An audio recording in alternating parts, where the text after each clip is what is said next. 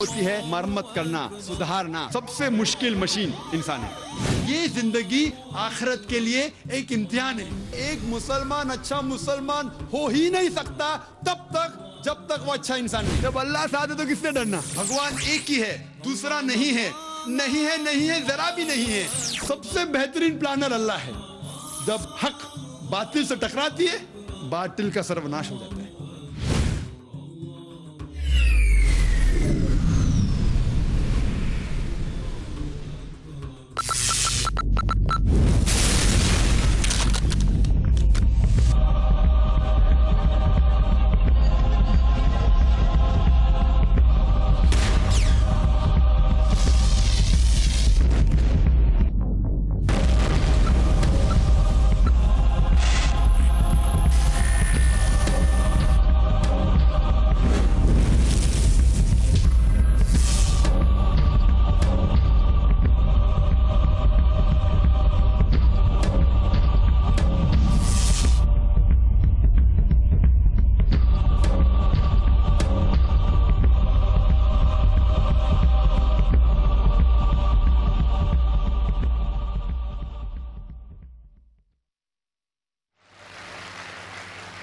Mic number दो में अगर कोई नॉन मुस्लिम भाई हूँ तो सवाल कर सकते हैं। सलामकुम जाकिर भाई। मेरा नाम तुषार शाह है। मैं जैन गुजराती हूँ, सर। मैं सिविल इंजीनियर हूँ, कॉमर्स ग्रेजुएट हूँ और एमबीए की डिग्री होल्ड करता हूँ और पूना में एज ए प्रमोटर बिल्डर काम करता हूँ, सर। मुझे आपके बारे में हमारे एक मुस्लिम फ्रेंड के थ्रू मालूम पड़ा।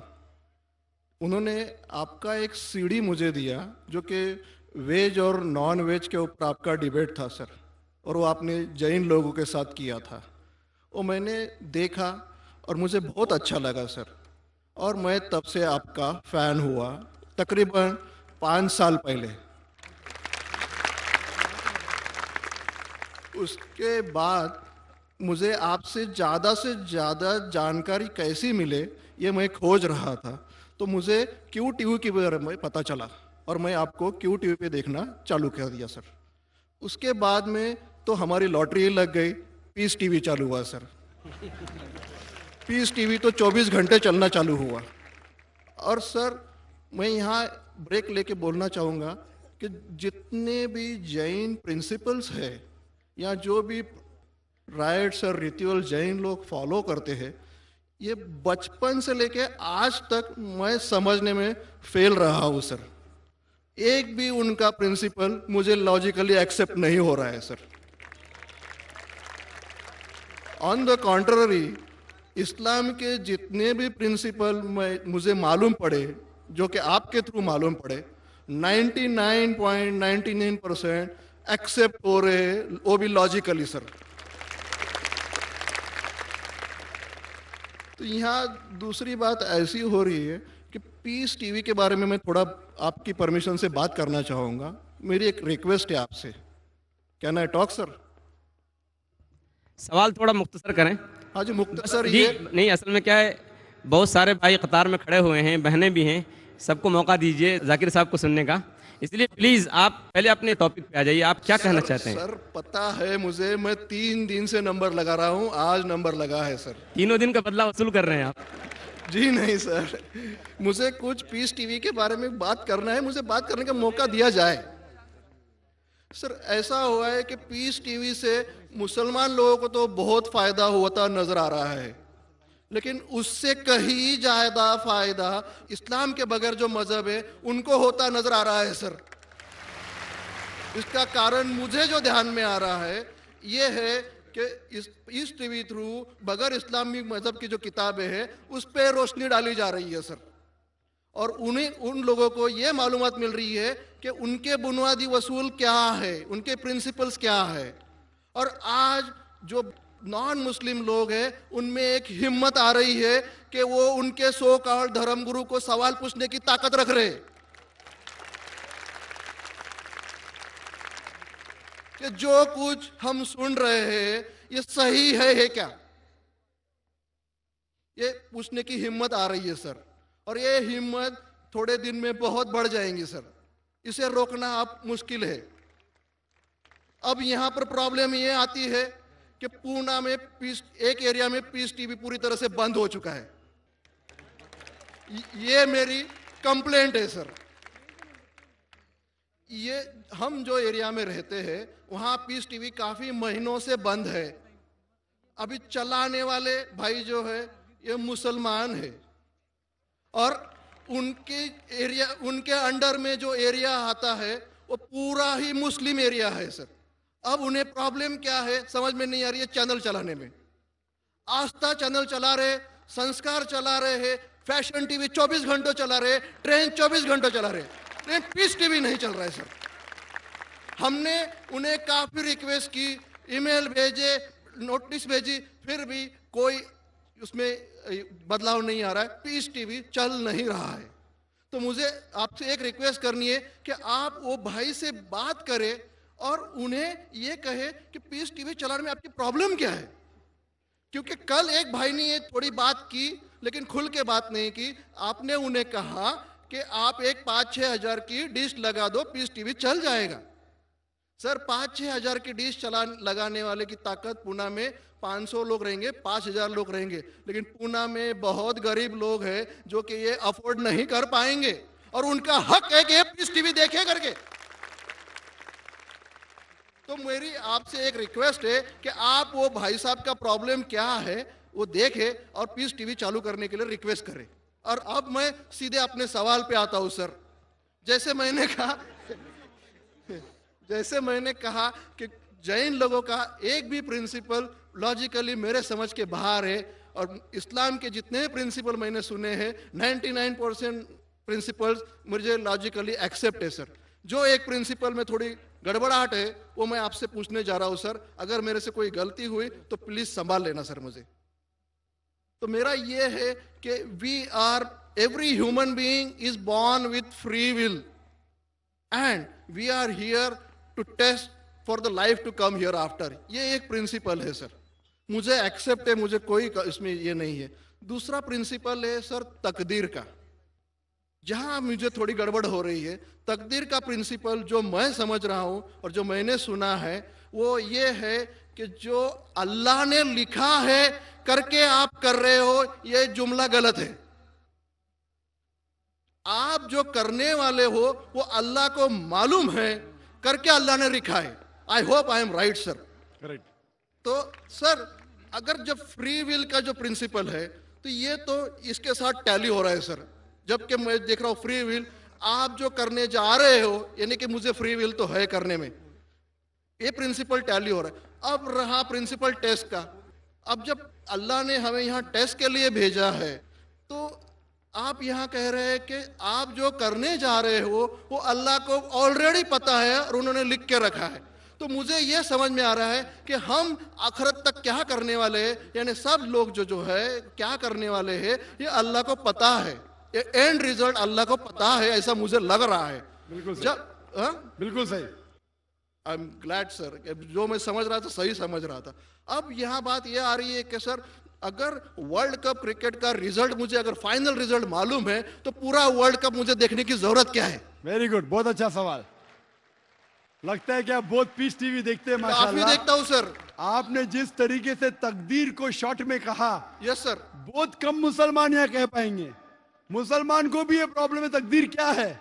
मैच करने का कि फ्री विल एंड तकदीर बहुत कम मुसलमान कह सकते और आपने इतने बड़े मजमे में कहा मैं आपको कॉन्ग्रेचुलेट करता हूँ। थैंक यू सर आपका आखिरी सवाल था कि अगर अल्लाह को पता है। Sir I have not yet finish my question sir please हाँ जी हाँ जी हाँ जी। सर ये ये तो एक पार्ट था क्वेश्चन का। दूसरा पार्ट ये है कि अल्लाह को जब अगर मैं तो बनिया हूँ सर मुझे मालूम पड़ा है कि इस्लाम एक्सेप्ट करके मुझे स्वर्ग मिलेगा या नर्क मिलेगा। कुछ न कुछ तो मिलना पक्का है। अब ये सब खेल में अल्लाह को क्या मिल रहा है ये मैं जानना चाहता हूँ सर। बहुत अच्छा सवाल ये दूसरा सवाल है मेरा। और तीसरा दोनों सवाल का जवाब दूँगा तीसरा मत पूछिए। सर शॉर्ट है शॉर्ट ये नहीं तो लोग मुझे कहेंगे कि मैं ना इंसाफी नहीं नहीं इसी कनेक्टेड है सर। इसी से कनेक्टेड है और सिर्फ़ आउट ऑफ़ क्यूरियोसिटी पूछ रहा हूँ, आप देना चाहे, दे सकते, नहीं देना चाहे, नहीं दे सकते। सर, हमारा फैसला कैसा होने वाला है, ये तो मुझे पता चल गया। कि डूज और डोंट्स कुरान में लिखे फॉलो करो, आपका फैसला हो जाएगा।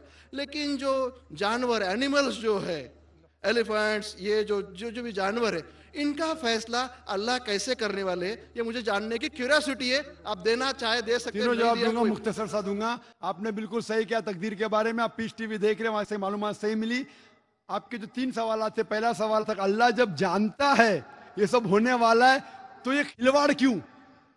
होता है ना कठपुतलियाँ जब अल्लाह ताला सब जानते हैं तो हम लोग क्यों ये रचा रहे ड्रामा? डायरेक्ट क्यों ना मुझे जन्नत में डालता? डायरेक्ट क्यों ना दोजख में डालता? बहुत अच्छा सवाल।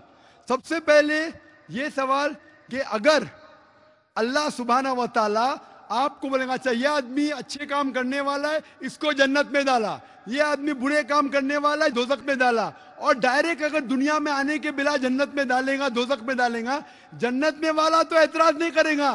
दोजक में डाले वाला कहेगा, आप मुझे दोजक में क्यों डाल रहे? मैंने क्या गुना किया? अल्लाह ताला कुरान में ये लिखा है, आखिरत के दिन में आप अल्लाह से ये नहीं कहेंगे क्या वो ना इंसाफी कर रहे। आपके जिसम आपके खिलाफ गवाही देंगे, आपके फेवर में गवाही देंगे। आपके आँख, आपके हाथ, आपके हर जिसम के अंग अंग आपके फेवर और खिलाफ में गवाही देंगे। आपके आगे सब कुछ स्पष्ट रहेगा। तो आप अल्लाह से ये नहीं कहेंगे कि आप मुझे दोजक में क्यों डाल रहे? आप कहेंगे, मुझे और एक मौका दो। अल्लाह कहेगा टेस्ट खत्म हो गया है। अगर डायरेक्ट आपको दोजख में डालेंगे तो आप कहेंगे, अल्लाह ने मिसाल के तौर पे अगर टीचर जानता है कि ये स्टूडेंट को फ़र्स्ट आने वाला है, ये स्टूडेंट फेल होने वाला है, अगर डायरेक्ट बोलेगा नो टेस्ट आपको पास किया, आपको फेल किया। पास करने वाला इतराज नहीं कहेगा फेल करने वाला बोलेगा, अरे आपने फेल क्यों किया मुझे? अरे आप तो बुद्धू है, आपको लेकिन फेल क्यों किया? इसलिए टेस्ट लेता है। अल्लाह ताला जानता है, लेकिन आप उस पर एतराज़ नहीं किया आखिरत में, इसलिए टेस्ट ले रहा है।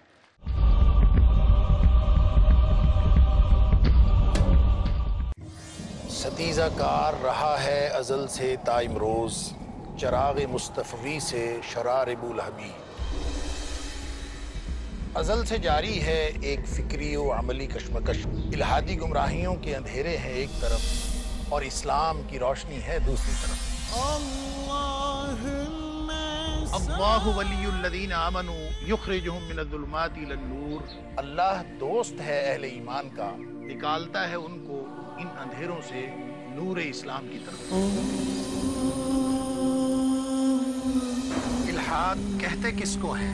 इल्हाद की तारीख और इसके असबाब व अमामिल क्या है? इसके नतायज और अमली मज़ाहिर कैसे मालूम हो और कैसे पहचान हो नूर इस्लाम की? देखिए हमारा प्रोग्राम इल्हाद और इस्लाम। जानिए किस कदर बुनियादी सच्चाई और मजबूती के साथ तारीख दिलों को रोशन कर रहा है। अल्लाह की वहदानियत का पैगाम इल्हाद और इस्लाम। हर बुध रात साढ़े नौ बजे और दोबारा सुबह सात बजे इंडिया में पीस टीवी उर्दू पर। मैरिज और divorce Islamic ruling? husband wants to give divorce, solution or problem joint family system. heaven or hell Big fat Indians have become the norm. You choose. Beauty, wealth, family status, virtue. Decide what you want. Decide your choice. Be sad or be happy. It's your choice. Join Dr. Zakir Naik in Better Half or Bitter Half. अगला programme peace TV Urdu पर।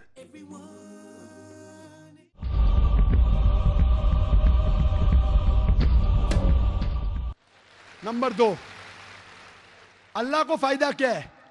Allah को शैतान ने उसको challenge किया था कि मैं तेरे बंदे को भड़काऊँगा। चैप्टर नंबर सेवन में लिखा गया है तो अल्लाह कहता है मेरे बंदे को तू भड़का सकेगा ही नहीं। जो मेरे बंदे ने उसको भड़काएगा। इब्लीस कहता है, मेरे पनिशमेंट को डिले करो। Give me respite Allah delay कर लेता है। अल्लाह क्यों कर रहा है? क्योंकि अल्लाह ताला के लिए इंसान सबसे बेहतरीन मखलूक है। बेस्ट क्रिएशन बाकी creation don't have free will इंसान को फ्री विल है। तो ये सबसे बेहतरीन क्रिएशन है। उनको खुशी हो रही कि बाकी जो लोग हैं, आपका तीसरा सवाल भी इसमें आता है। जो फरिश्ते, उनको चॉइस नहीं, जो अल्लाह कहता है, मानना ही पड़ता है। जानवर को फ्री विल नहीं है।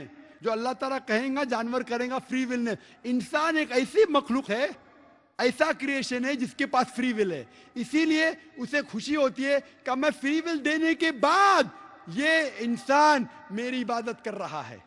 Answer number two answer number तीन ये टेस्ट जानवरों के लिए नहीं है। जानवर के लिए टेस्ट नहीं, सिर्फ़ इंसान के लिए और जिन के लिए। जानवर अगर किसने भी कोई गलत किया, एक जानवर ने दूसरे जानवर के खिलाफ कुछ सिंग मारी तो आखिरत के दिन पे उसका बदला लिया जाएगा और उनको खत्म किया जाएगा। इन लोग स्वर्ग और नर्क में नहीं जाएँगे। इंसान सबसे बेहतरीन मखलूक है, सबसे अच्छा क्रिएशन है, सिर्फ़ वो जन्नत का दोजख में जाएँगे। और सवाल के पहले जो आपने पूछा था कि वो मुस्लिम ऑपरेटर पीस टीवी नहीं दिखा रहा है, हम क्या करें? आप बिल्कुल सही कह रहे हैं कि मुसलमान से ज़्यादा गैर मुसलमान को फ़ायदा हो रहा है, इसलिए वो मुसलमान टेलीविज़न नहीं दिखा रहा है। और मैं कहता हूँ ना, कुछ लोग नाम के मुसलमान रहते, पैसे के रहते। वो बाकी चैनल शायद उन्हें पैसा देते, हम किसको पैसा देते ने हम ना पैसे से किसी को खरीदते, ना किसी को इस्लाम फैलाते, ना चैनल को पैसा देते। गॉड टीवी, जो क्रिश्चियन चैनल है, इंडिया में हर साल 28 करोड़ रुपीस है 28 करोड़। सिर्फ़ केबल ऑपरेटर्स को पैसा देती है 28 करोड़। 28 करोड़? वो बजट भी नहीं। सिर्फ़ इंडिया में, दिखाने के लिए। हम पीस टीवी बोलते हमारा मन का टीवी, हम आपको एक रुपया देंगे नहीं। दिखाने का दिखाओ, नहीं दिखाने का मत दिखाओ। तो ये लोग पैसे के पुजारी, अब्दुल्ला ने अब्दुल रुपया है।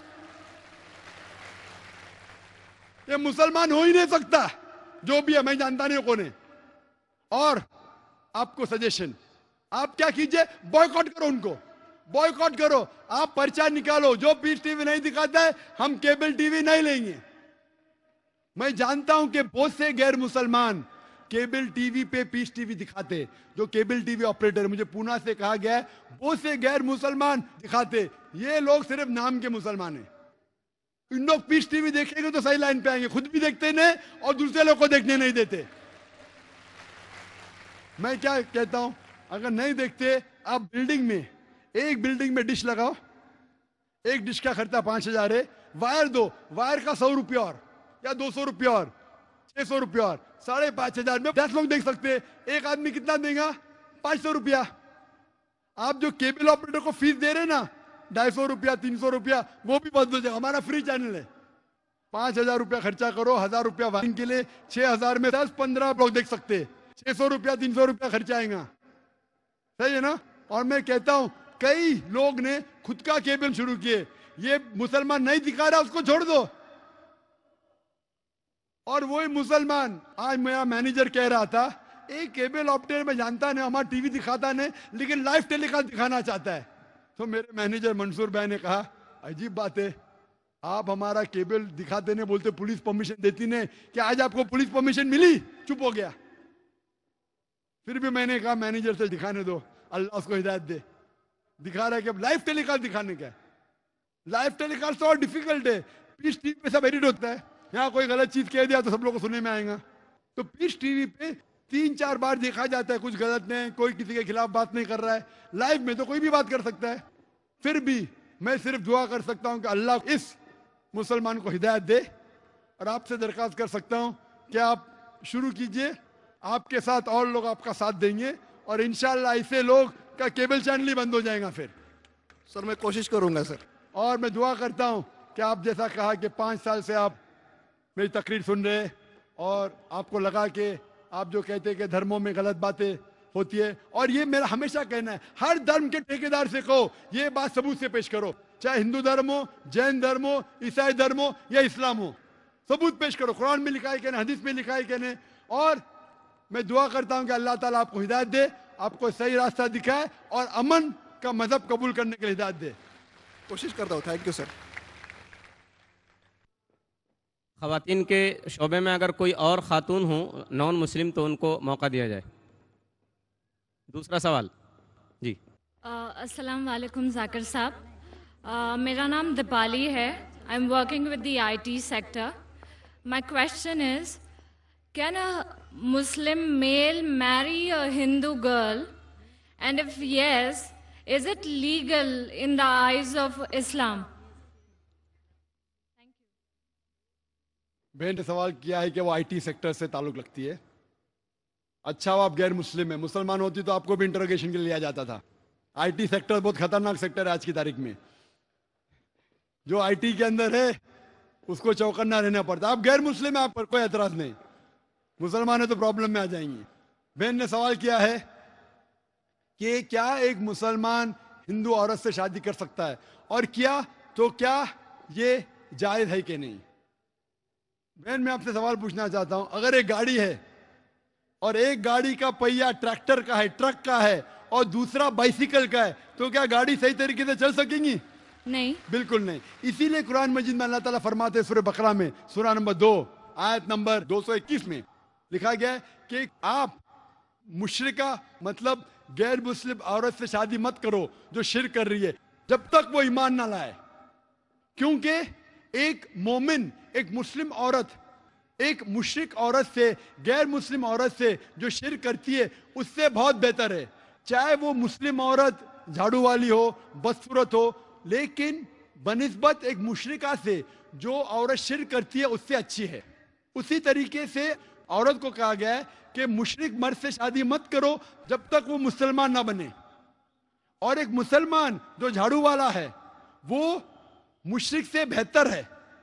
भले वो झाड़ू वाला है, वो मुशरिक कितना भी हैंडसम हो, कोई भी हो, अमिताभ बच्चन हो, लेकिन अगर वो मुसलमान है, भले झाड़ू वाला है, बदसूरत है, वो मुशरिक से बेहतर है। और वो कैसा शोर है, जो जानता है, मुसलमान अगर जानता है कि वो शिर करके दोदक में जाएँगे, कौन मर्द अपने बीवी को दोदक में डालने की कोशिश करेगा? वो मर्द चाहेगा कि मेरी बीवी भी जन्नत में जाए हिंदी में कहते अर्धांगनी, इंग्लिश में कहते बेटर हाफ़ तो अगर मेरा बेटर हाफ़ जहन्नम में जाएगा तो किस तरीके से मैं जी पाऊँगा? इसीलिए मैं भी चाहूँगा कि मेरी बेटर हाफ़ जन्नत में जाए। इसीलिए वो लड़की को मुसलमान बनना ज़रूरी है, ताकि इस दुनिया में और आखिरत में भी वो सफलता पाए। सर आई एम कंटिन्यूइंग तो अगर एक हिंदू लड़की इस्लाम को एक्सेप्ट करती है। Then a Muslim male can marry her is that right और रॉन्ग कैन ही जैसे मैं फरमाया कुरान मजीद में लिखा है कि अगर वो मुशरिक, मुस्लिम बन जाती है if that non Muslim accept इस्लाम तो जायज़ है। लेकिन इस्लाम के लिए एक्सेप्ट करना चाहिए, सिर्फ़ नाम के लिए नहीं। इस्लाम उसे अच्छा लगता है, नाम के लिए एक्सेप्ट कर शिर करने लगी तो फिर मामला बहुत गंभीर है। लेकिन सही तौर पे इस्लाम पसंद करती है उसके टीचिंग्स को उसके अहकाम को कुरान के बारे में जितना भी उसे पता है ये ज़रूरी कि सब चीज़ जानने की ज़रूरत है। पसंद आती है करे तो बेशक वो उससे शादी कर सकता है। तो अगर नॉन मुस्लिम लड़की इस्लाम एक्सेप्ट करती है so that marriage will be legal in the eyes of इस्लाम बिल्कुल सही। इस्लाम के हालत से भी दुनियावी एतबार से और हिंदुस्तानी हालत से भी बिल्कुल जायज़ है। Thank you sir most welcome mike number दो, में अगर कोई नॉन मुस्लिम भाई हूँ तो वो सवाल कर सकते हैं। अलमैकम sir I actually know to offer नमाज़ and most of I know ten to twelve Suraj but since three days I am listening to your lecture and yesterday my friend Javed I had debate with him I totally agree with you that Uh, one side of the coin that what is happening around the terrorism, the problems to Muslims, and who are responsible. But according to my thinking, the another side of the coin, that the main responsible to the all the controversies occurring around is only a Muslim who is not offering namaz, Quran, all whatever the perspectives are expressed in Quran. So could you please advise me in this critical situation? आप बिल्कुल सही फरमाते कि बहुत से जो problem मुसलमान पे इल्ज़ाम लगाया जा रहा है ब्लैक शिप इन कम्युनिटी बहुत से लोग जो अच्छे मुसलमान नहीं हैं जो नमाज़ नहीं पढ़ते, इस्लाम पे अमल नहीं करते, वो इस्लाम के लिए धब्बा है। अब बिल्कुल सही कहते इसीलिए सही मुस्लिम में अल्लाह सुबहाना ताला के पैगंबर मोहम्मद वसल्लम की हदीस है। अल्लाह के पैगंबर कहते सलाह एक पहचान है काफिर और मुसलमान के दरमियान। तो सलाह बहुत अहम है। तौहीद के बाद, अल्लाह को मानने के बाद सबसे इंपॉर्टेंट पिलर जो रुकन है, वो है सलाह। सलाह इंपॉर्टेंट है और बहुत से मुसलमान, नाम के मुसलमान होते जो इस्लाम के टीचिंग से दूर है, वो गलत है और इंशाल्लाह आखिरत में उनको सजा होंगी। Question Yeah, thank you, sir. सवाल जवाब की नशिस्त यहीं ख़त्म होती है।